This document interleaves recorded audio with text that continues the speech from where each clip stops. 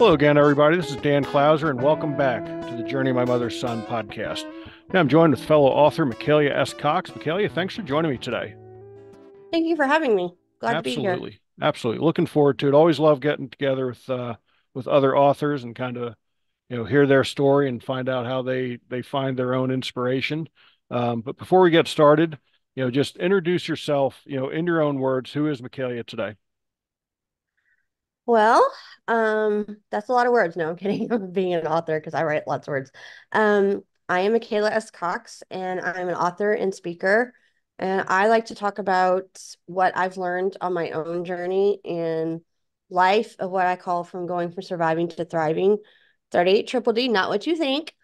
Um, but it talks about the journey of being legally blind since birth, so a disability, lifelong disability, there's never been a day, or will there be a day that I haven't taken a breath that I don't see through totally up eyes, um, which makes for a lovely combination cocktail of interestingness in its own right. And then in 2005, when I was 26, I found myself getting divorced. So that's the second D. And then I was lucky after that to find the love of my life. And we were together for 12 years. And then he tragically, unexpectedly, suddenly passed away in 2017, seven years ago. And I was 38. So disability, divorce, and death all by the age of 38. So it's taught me a lot. And I feel like I have a lot to share that I've learned. I don't know all the answers, but I can share through my writing the message that I have. I feel like I could help others to be empowered on their own journeys. Yeah, I love that. I love that. How long have you been writing? I've really been writing my whole life. I yeah. mean, I was always felt called to it, but what I've written in my adult life, you know, and what I publish now has probably been worked on, you know, since 2011. But I remember writing my first, I was a little bit of a weird kid. Um, self admittedly, I decided I was upset about something in the second grade. So that was like, I don't know, like 86, 87. We were living in Texas at the time. And yeah, I thought, you know what? They need to hear about my opinion on this matter because this just isn't right. So I'm going to write an editorial and let everyone know about how I don't think this is right. I mean, what did I really know at six or seven or seven and eight? But I thought it was important, so whatever. Um, I was it was political, no doubt. It was a I think I think it was I think I heard in school that the Supreme Court was ruling on whether burning the flag should be considered part of the First Amendment, right? And in my little second grader mind, I just thought that was horrible, and I had to say something about it, so I wrote. so, as weird as that may be for a second grader, that was kind of the beginning of my writing, and understanding that words could have power, maybe impact or influence. And then I wrote my first poem in fourth grade. And then obviously what I wrote then I don't right now, or I hope not, or we're all in trouble, but um, I've always felt drawn to it. So yeah, yeah, same same here. I've been writing my entire life and you know, it's just one of those things that uh you know, when when you kind of have that that gift, you you absolutely want to want to use it. When you when you were younger, um, did you have aspirations to become a published author, or at what point in your life were you like, you know, I I actually want to be published. I want my you know my word to become my legacy now. I think when I was like before high school, I always knew I wanted to write and I loved the written word and I wanted to share what I had to say, but I didn't know how that worked mm-hmm. professionally mm-hmm. in the big world picture, like outside of, you know, I'm just a kid trying to write my story or words. But I remember being in high school and my English teacher that year showed me that you have a gift and this is what you could do with it. And so you might want to think about writing books and, and start learning that process and seeing where it takes me. So I think even though I knew I always wanted to write, the idea of an actual real life vision of what how that works in the real world of authoring and an author career and publishing and publication became more in my mind and understanding that better when I was in high school. Yeah. Yeah. Yeah. For me, I don't I don't know that when I was in high school, I I thought that I would become an author, but like like you, you know, I always loved writing, um, loved writing essays and short stories and all that sort of stuff. And it probably wasn't until I was in my my early 30s where I actually felt like, you know what, I I want to write a book and become a, a published author, and then um, kind of just just went from there. So when when you started to write your first book, what what was your timetable from start to finish? That was a longer kind of long ball game because I started that in high school actually, right about the time I had that English teacher, and it was a very different subject that I was writing. But part of the disability piece is I'm really good at academia, and I work really hard to be good at academia, but with a vision impairment, of legal blindness, it takes a lot more work than most people realize. So when I'm in school, I don't really do anything else but school. That's pretty much all I have time for. So it's kind of one of those projects you you you know you piddle with and you you tinker at and you do a little bit here and you do a little bit here and you do a little bit here. And then eventually after years and years and years you finally have written it. And then by that point I was getting separated and divorced when I wrote the last poem in that book because I started with poetry. And then life happened and I went to grad school and then I met my husband that would end up passing away and we moved to New Hampshire and we had kids and I went to grad school again and know all the things. So I didn't get to really turn my attention to it until I don't know 2011 and that book that I had tinkered with since high school through 2004 was finally released um, through a, a self-publishing company called iUniverse, a hybrid that helps you self-publish, even though it's not how I publish now. And that was finally released. And then of course, I had the brilliant idea of, hey, you have an eight month old kid. You need to go to grad school. And while you're in grad school, you need to have another kid and try and write a thesis while your kid is three years old and a four month old and not sleeping through the night. I'm like, yeah, I don't know if that was smart, but okay, I live to tell.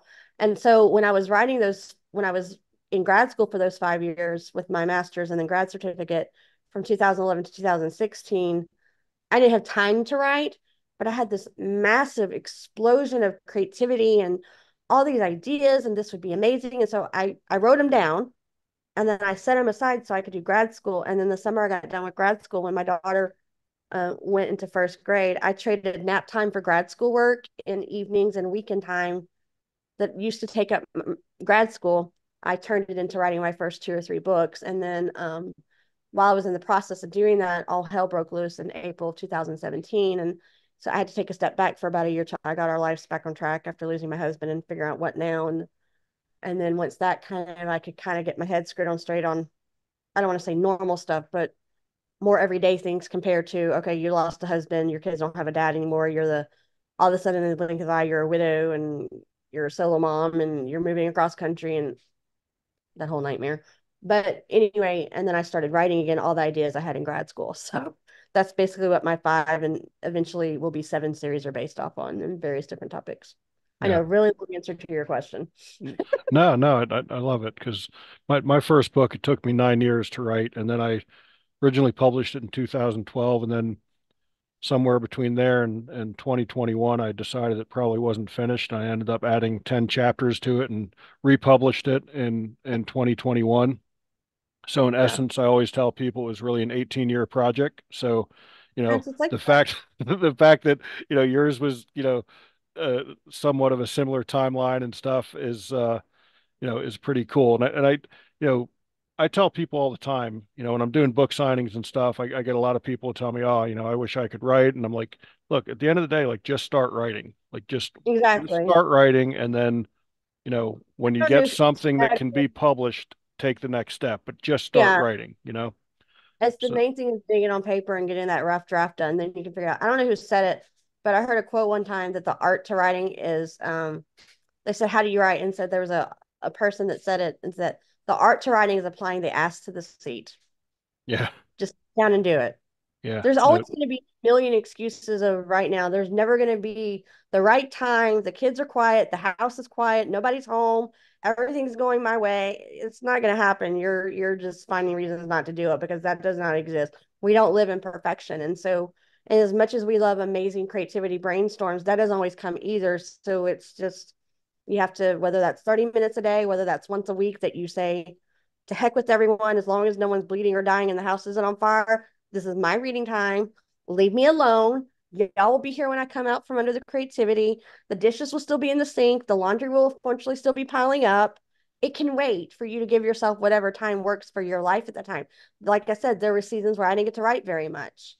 Um, from pretty much high school on until, you know, 2000, you know, once I got out of grad school, I had to pick at it. But then once I got out of grad school, and then my kids were still young and so i did it during nap time in the evenings and on the weekend. But now my kids are both older. They aren't grown but they're older. And so once my kids both my kids were in school which was i don't know 2018 2019 i can write as much as i want any day i want. If i want monday through friday during the school year i don't really write during the summer because i want to be present and be a mom. Now i do write some things but not like i do during the school year And if I need to take a day off, I take a day off. But usually what I do is I'll get the kids off to school during the school year.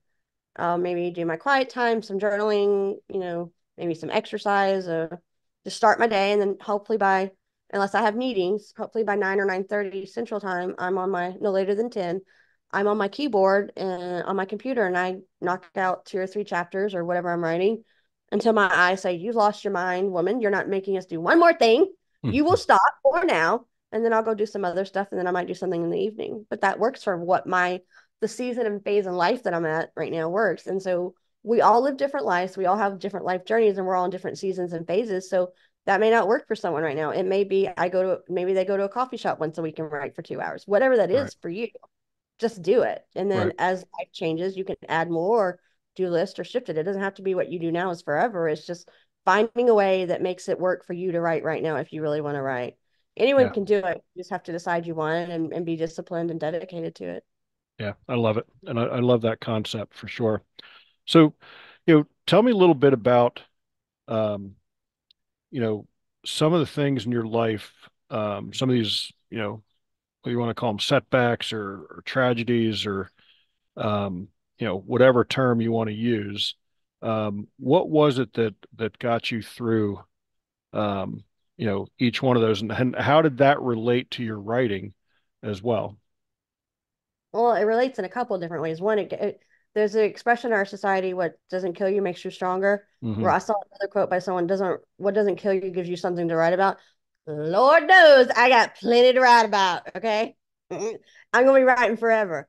So th- that's you know, there's that, and then also in having to be so dedicated to being determined to not let your disability stop you. I don't quit. I don't give up, and you know, I don't usually tell me no means I'm pretty much going to be hell bent on doing it. So there's that. I mean, being, I don't know what your audience will be able to see from this video, but being what I call a redhead Texas Southern Scorpio girl, yeah, I live up to that reputation. And so I'm pretty determined. So yeah, good luck in telling me no.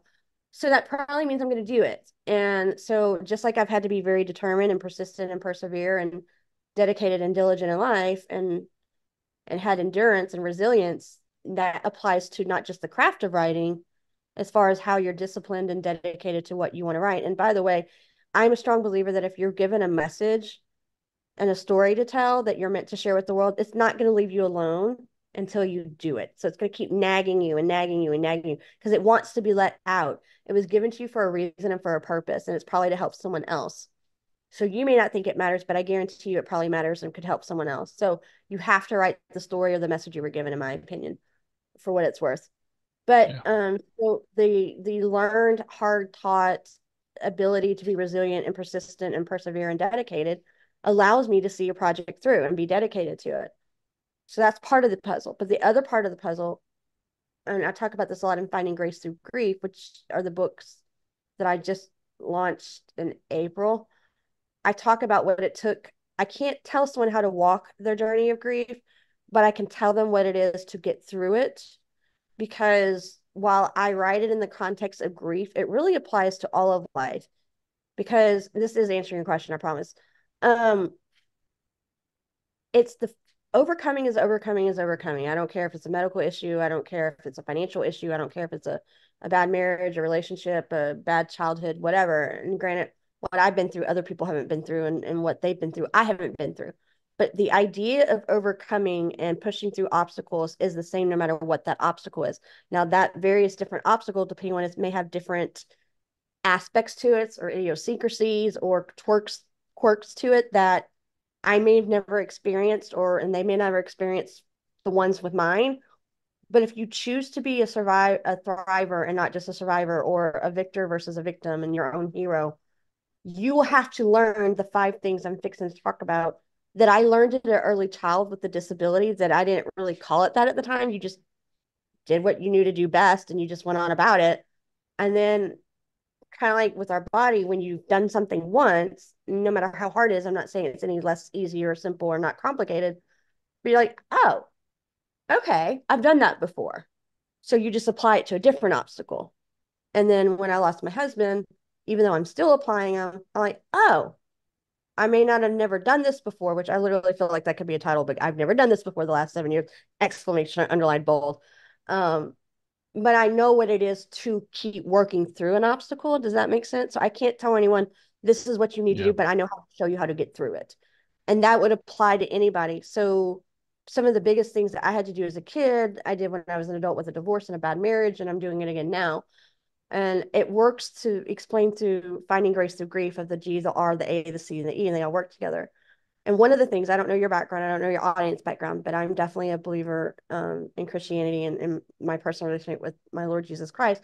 So part of that for me in finding my grounding in life is my faith and then relying on friends or whatever your belief system is. We have to have something for me, it would be Christianity, and that's fine for me. And I, I would like to think that's good for a lot of other people too, but it may be another belief system or type of faith. Or the point is, you have to have some idea, some belief, some faith that grounds you in going, why am I still here? What the hell am I doing? Yeah. Like, what am I doing? Why am I still here if I'm going through all this? And it has to ground you for when it the the tough gets going and the rough gets going to make you want to keep pushing through. So that's part of it. So it would be my faith for me and my friends. Okay. Um, my beliefs in that I never give up, I never stop, I don't quit. I'm going to make this happen. Um, my husband that passed away was in the military, and he said basically it's the expression of hold my beer and sit back and watch. maybe if you it's a glass of wine, maybe it's the orange juice for the kids. I don't know, but whatever that beverage is, they can hold that cup and sit back and watch me go because I'm going to do it. Um, the R would be choosing that when your world is getting turned upside down, you may not have been chosen the hand that you were dealt, like my disability. I didn't choose to be born blind or be legally blind my whole life. I did walk away from my first marriage, but I did not choose his decisions that made that marriage no longer doable, viable, whatever you want to call it, tenable. And I definitely didn't choose to have my love of my life pass away or my two young children at 63 in 2017 lose their father. But we do get to choose what we do with that. And we can choose whether to be defined by our circumstances or to define it for ourselves and have the guts to dare, no matter how hard it is, to chart our own course and say, you know what, this is may not what I asked for, and this really sucks. But now I get to choose what I want to do with it, and I'm going to make it what I want.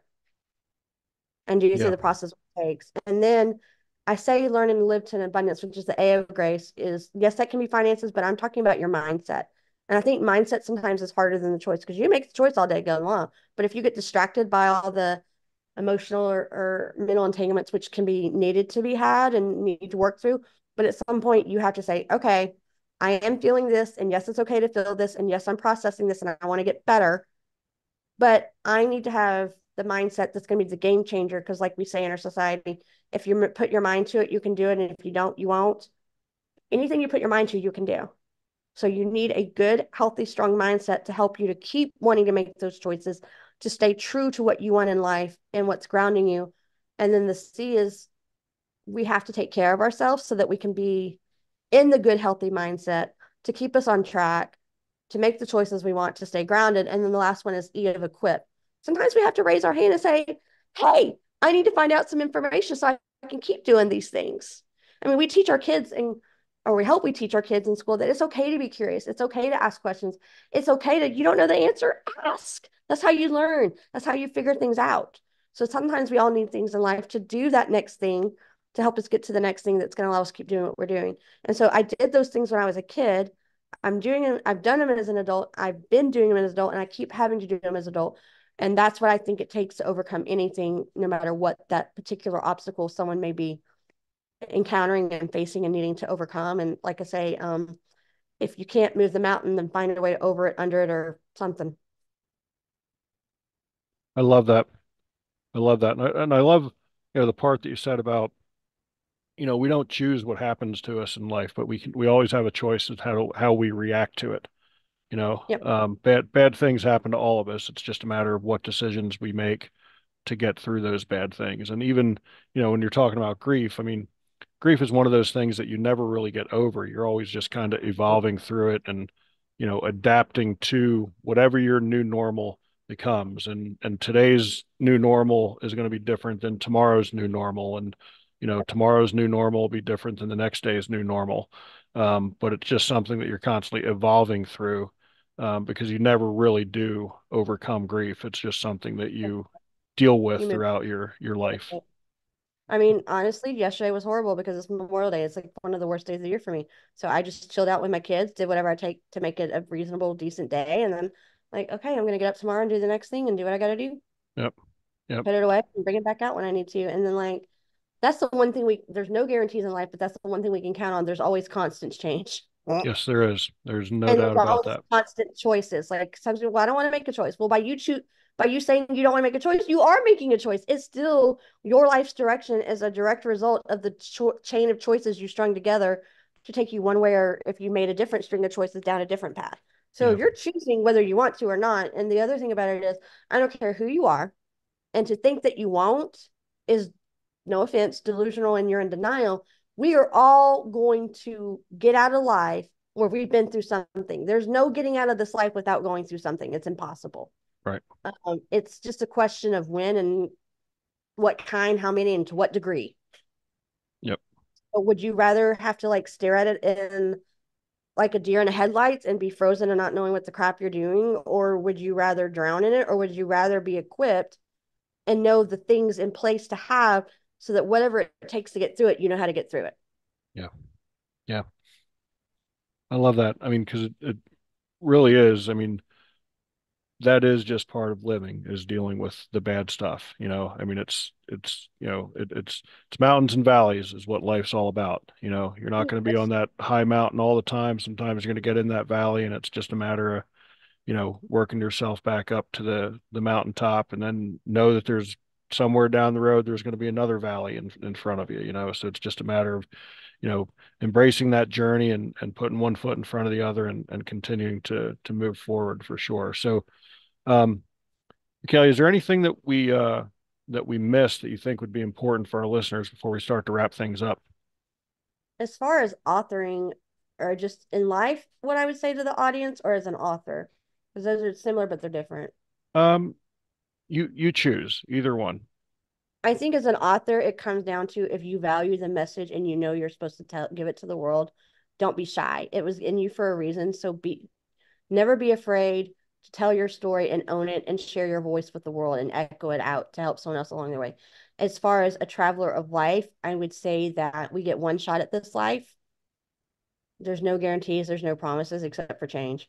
the constant, but other than that, there's no guarantees, there's no promises. So I would tell you to choose well and to give it your best shot so that you can travel your journey your way and know that you're living the best life possible and you'll thrive in it. Yeah, I love that. I love that. And Just one thing I want to kind of add to what you said as far as writing. I heard someone once say that, you know, creativity, um, so many people get caught up in worrying about if something that if others are going to like something that they create. And at the end of the day, I think we as creatives um, are creating things for ourselves. I mean, like for me, writing is therapeutic. You know, uh, one, you know, going back to grief. I mean, one of the ways I deal best with grief or loss is writing about it. I. And I, I throw it out there to the world, not necessarily saying, oh, I hope people love what I wrote. It was written for me first and foremost. And if I throw it out there and it happens to help someone else going through a difficult time, that's all the better. But at the end of the day, I think we need to get in this. And with social media, like it's so tough because everybody's chasing likes and Oh, yeah. follows and shares and all that sort of stuff. But at the end of the day, as creatives, I think we need to create for ourselves first and foremost. And then anything that comes beyond that is just icing on the cake and is, is just a benefit. But like you said, I think if you do that, it'll be more, it'll ring more true and authentic and organic. yes, And that actually reaches people better instead of you trying to make it fit something. It's your voice, it's your story, and you're unique. We're all unique. So it's not going to be the same. And I believe that the ones that it's supposed to find or supposed to find your stuff, they will. yeah, I agree. I love that. I love that. So stay true to your voice and don't let anyone tell you it's your story. You get to own it and make it be what you want because it's yours and only yours. And you only have one story. And you, while there's similar themes and ideas in the world, nothing new under the sun, it's never going to be quite the same as mine or mine's yours or whatever. And that there's a purpose in that. It would be boring for one thing. But then that means somebody can always be reached by somebody else because it'll relate in a way that if I tried to tell someone else's story, it wouldn't work anymore if they tried to tell mine. Right, right. I love that. Michaela, how do people find you on the internet if they want to reach out to you? um, find your books, um, engage you in speaking or anything like that, how do they find you on the internet? I have a website with my author website and my heartfeltmeditations.com. But then also all of my books are on Amazon. My I think I'm up to 14 now. And I have a whole bunch more I'm working. I'm always working on something. I'm never not just not doing anything or one thing.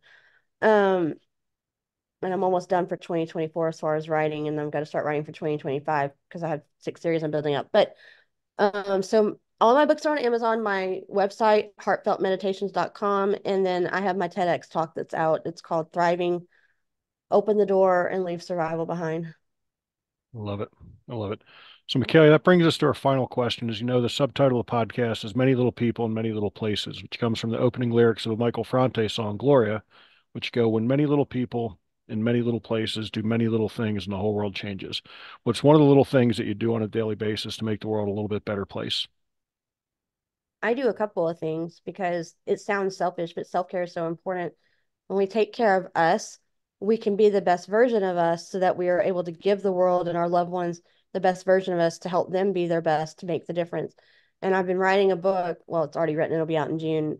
It's faith based, but it talks about the ripple effect.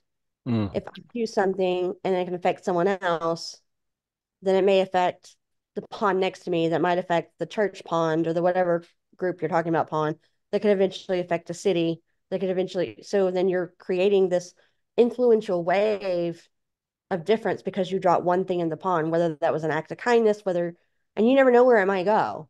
You know, maybe it's we as parents, for anyone who's in the audience, our main job is to raise good humans so that when they grow up, they're able to raise good humans and eventually maybe affect the world.